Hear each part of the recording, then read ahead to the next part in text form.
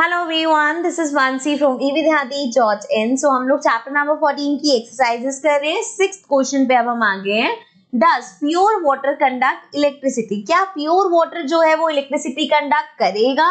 If not what can we do to make it conducting तो देखो, दो question एक साथ पूछनी है।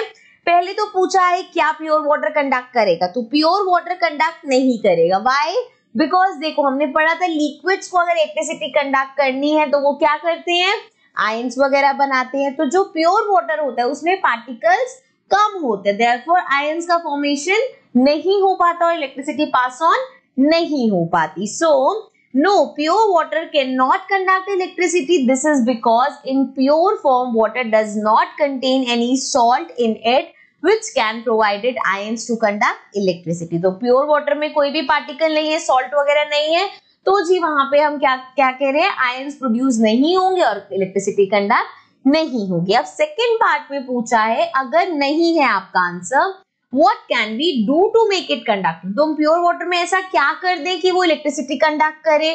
तो सिंपल सी चीज़ है, आप प्योर वाटर में सॉल्ट ऐड कर दो। सॉल्ट ऐड होते ही वो सॉल्ट वाटर हो जाएगा और वो फिर इलेक्ट्रिसिटी करेगा कंडक्ट ऑल्सो सॉल्ट ऐड करने से अब क्या होगा? पार्टिकल्स आयंस बना पाएँगे और वही आयंस इलेक्ट्रिसिटी को कंडक्ट भी करेंगे. So pure water can conduct electricity when a pinch of salt is added to it as salt solution is conducting in nature क्योंकि जो सॉल्ट सॉल्यूशन होता है, वो एक गुड कंडक्टर है इलेक्ट्रिसिटी का. ठीक है? तो ये था हमारा सिक्स क्वेश्चन सेवेंथ क्वेश्चन पे आ जाते हैं.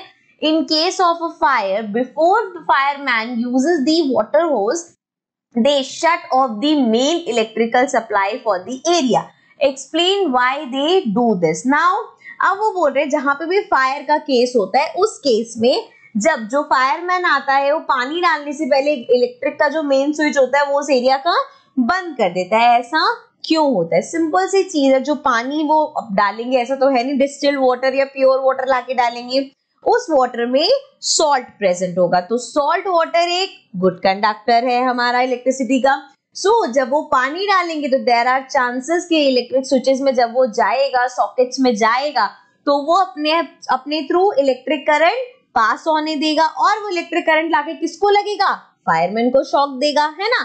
सो so, इस केस में फाइनली बेसिकली अपनी प्रोटेक्शन के लिए उन्हें इलेक्ट्रिसिटी के सारा सप्लाई बंद करना पड़ता है the water use in the water hoses is not pure water and is a good conductor of electricity pure water नहीं है, वो एक गुड कंडक्टर होगा इलेक्ट्रिसिटी का।